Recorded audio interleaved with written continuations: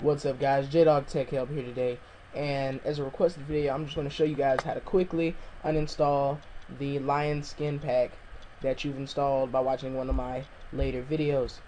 Now I don't have it installed anymore as you can see and to uninstall it's really simple. Just go to your start orb wherever yours is located. It should be at the top of the screen. Go to control panel.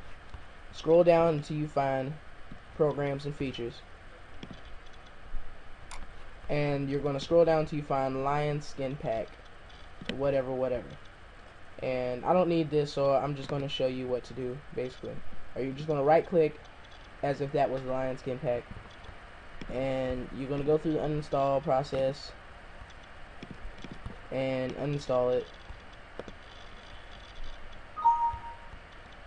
And all you need to, and it may ask you to reboot your computer. You're going to have to reboot your computer if you want everything to look back the same and if your icons aren't the same this is what you do. Go to hameddanger.deviantart.com and you're going to go through his gallery.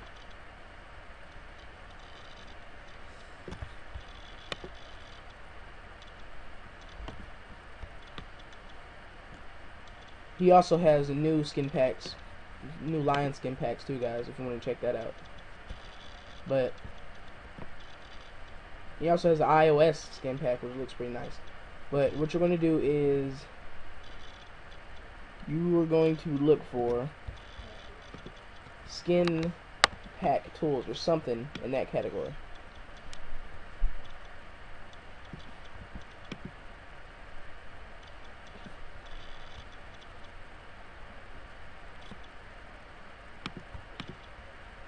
Right here you're just going to hit that. Download it.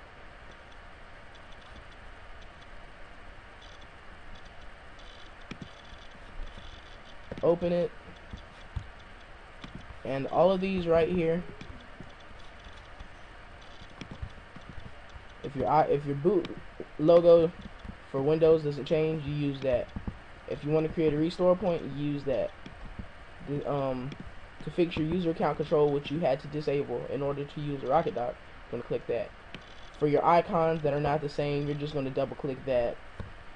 And everything you just want to restore back to the way it was, double click that.